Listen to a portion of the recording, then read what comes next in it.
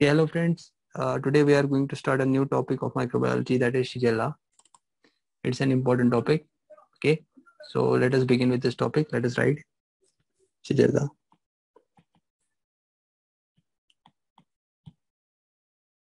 So guys, Shigella is basically NLF, NM, NLF, NM. That is non-lactose fermenter and non-motile. It is non-lactose fermenter and non-motile. Non-lactose fermenter and non-motile. Okay. And the reservoir, the reservoir is, reservoir is mostly the humans. In Shigella, reservoir is the humans. Humans. Reservoir means mostly, exclusively, not mostly, exclusively present in the human beings. It's a human pathogen. So what is the infective dose to cause Shigella infection? Infective dose to cause Shigella infection, it is 10 to the 100. 10 to 100 bacteria. So that means so much less infective dose you have. So it has very low infective dose. Very low infective dose. Very, very low infective dose. That is only 10 bacilli required to produce a Shigella infection it's okay. So uh, basically what happens is uh, you know we have divided you know they have uh, the microbiologist once we're doing some tests on the shigella they classified this shigella on the basis of serological properties and biochemical properties on the basis of serological properties and biochemical properties into four types. There are many types but just giving you four types okay? So they divided on the basis of me write it more clear on the basis of serological or you can say biochemical properties into four types okay? Four types. So what four types they divided? Shigella dysentery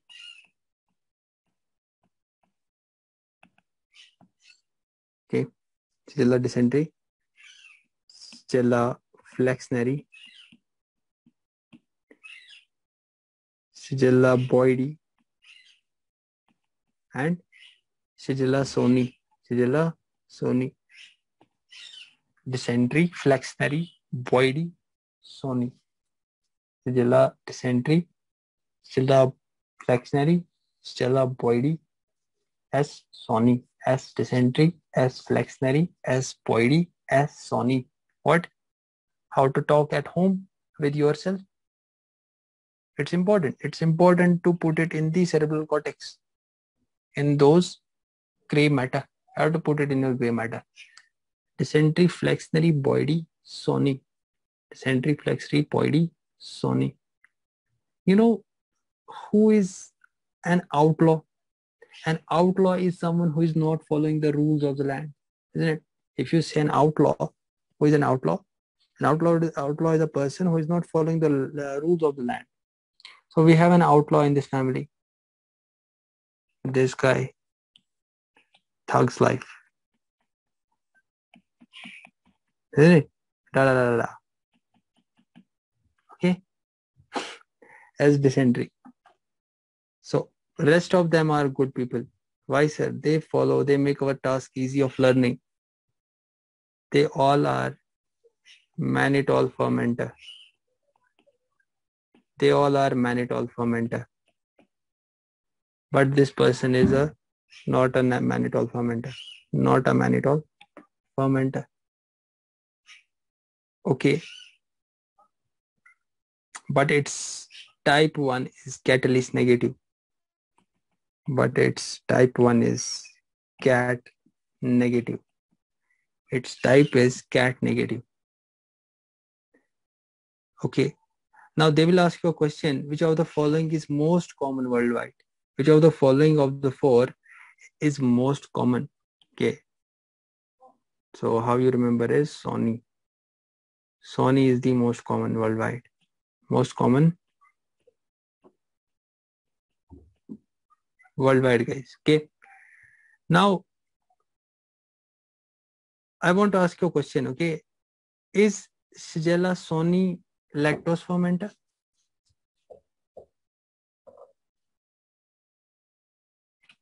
Is Shigella sony lactose fermenter?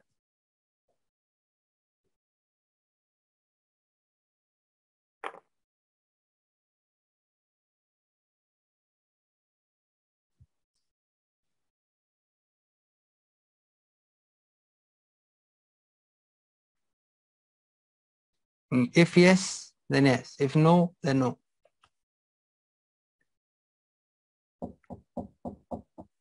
Exactly. Exactly. This is the answer. Very nice answer. It is basically a late lactose fermenter. What do we mean by late lactose fermenter? What is the definition of late lactose fermenter? Yeah. Yes, uh, Supriya student. Yeah. Uh, can you please tell us what is the definition of late lactose fermenter?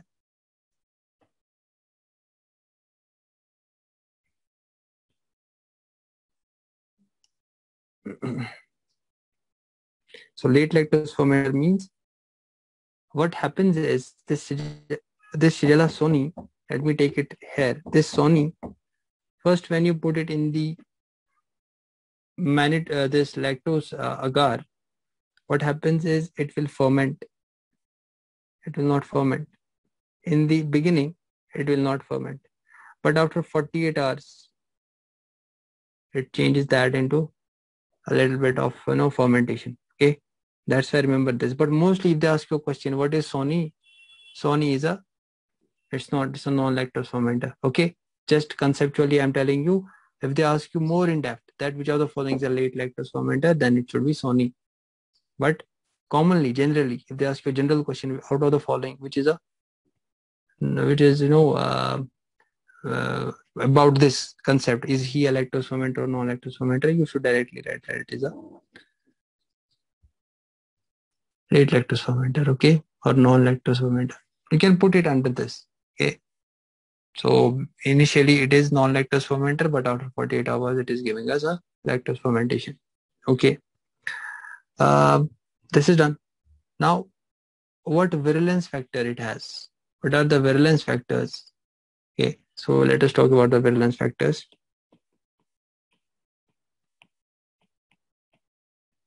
virulence factors, this S dysentery, S dysentery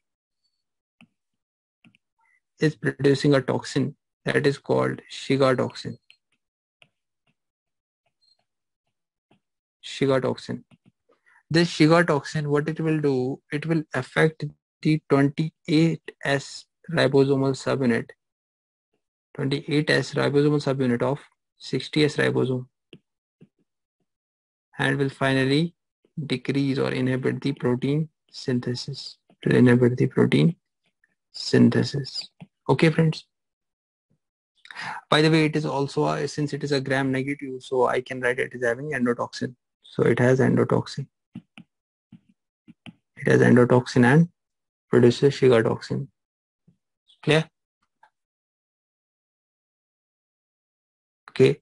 And think that see if, if it is having, you know, there were other bacilli who were producing, you know, who have a higher infective doses, you know, uh, if I talk about um, not even uh, higher, it is in that range. For example, if I talk about salmonella, the salmonella is having an infective dose of 10 to the power 3 to the 10 to the power 6 bacilli. That means you need at least 10 to the power 3, that is 1000 bacilli to produce a um, to produce the uh, you know an infection of uh, salmonella. Like we we have for Vibrio cholerae, 10 to the power 6 uh, to around 10 to the power 8 bacilli for producing a cholera infection. So uh, here you have to remember in Shigella that it's 10 to 100 bacilli. It's very low infective dose is required to produce a Shigella infection. Okay, so if they ask you which of the following are having the low infective dosages, so you can write what? EHEC, Entamoeba histolytica, Giardia. Okay, do we know that? Okay, let me make a box for you. So uh, which others are having a low infective dose? Should remember this. EHEC, oh, uh, Entamoeba histolytica. Entamoeba histolytica, isn't it? Amoebiasis dysentery. So entamoeba histolytica and giardia. So these these are low infective dosage. Uh, so you need only less or low amount of less amount of uh, bacilli to have this infection, these bacteria. Okay. Now, what what others? Uh, now this was about S dysentery, which was producing this Shiga toxin. What are other members doing? Because we have other members also. Other members are producing Shigella and enterotoxin. So other members, remember like this, okay? Other members are producing Shiga and enterotoxin. This Shiga and enterotoxin, think that it is like it is like cholera toxin. Like cholera toxin is having what subunits?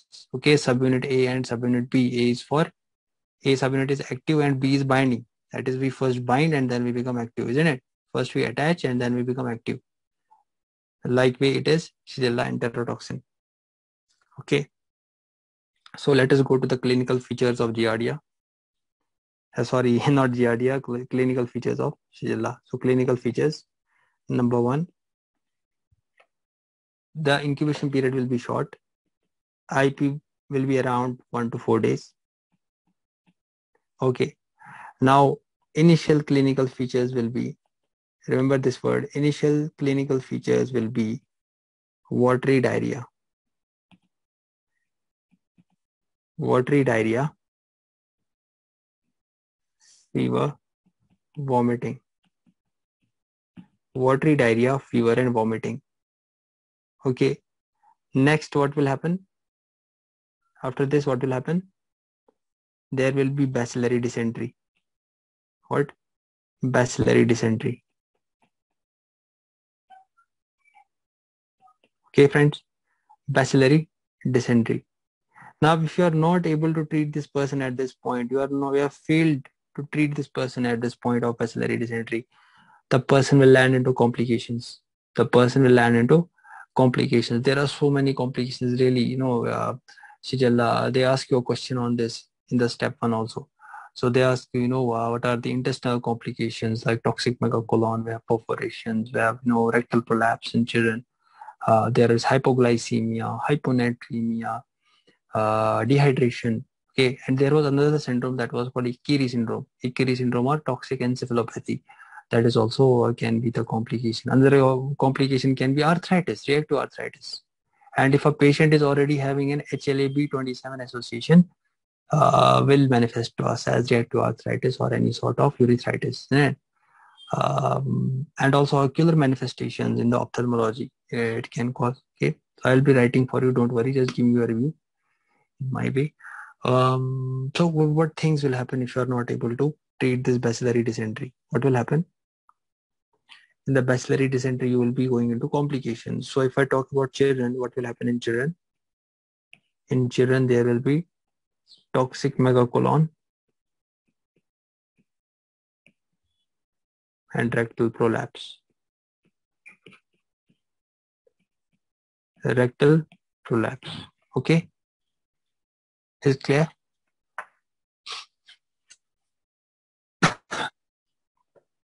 So uh, if I talk about the adults, in adults you will be having electrolyte abnormalities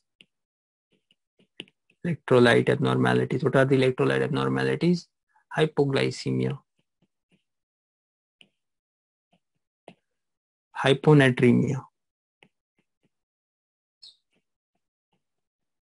and what else? Dehydration. Dehydration will be there. Okay. Another complication is toxic encephalopathy. So one was this one complication I was writing is this in the children, second in the adults, third will be toxic encephalopathy.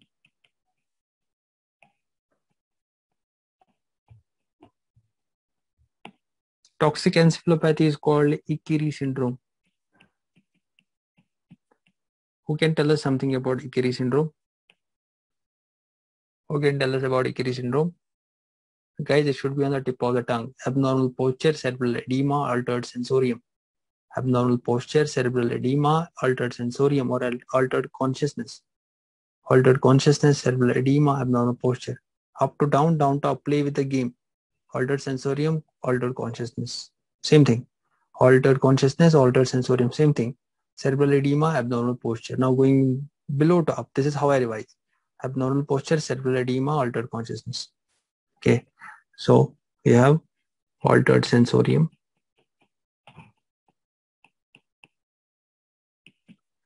Or you can say consciousness.